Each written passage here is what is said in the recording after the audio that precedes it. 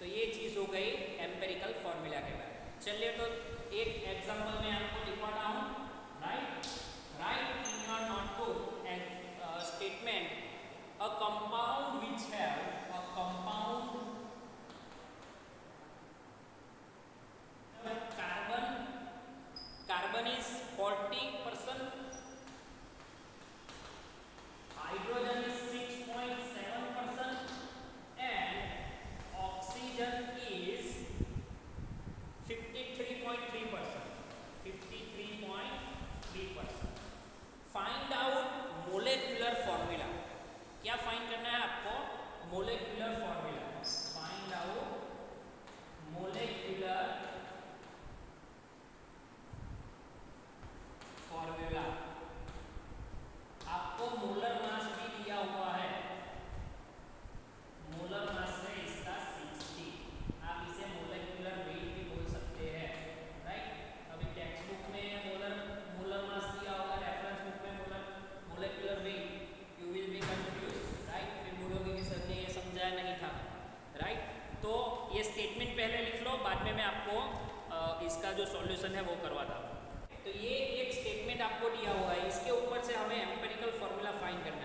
सो आपकी text book में पाँच स्टेप्स दिए हुए वो भी एकदम सही है, लेकिन मैं आज जो आपको एक नई मैटर सिखाऊँगा, वो है टेबल मैटर कि टेबल से हम इसको कैसे कैलकुलेट कर सकते हैं? सी वो भी आपकी टेक्स्ट बुक में जो स्टेप्स दिए वही है, लेकिन मैंने उसको टेबल फॉर्म में कन्वर्ट कर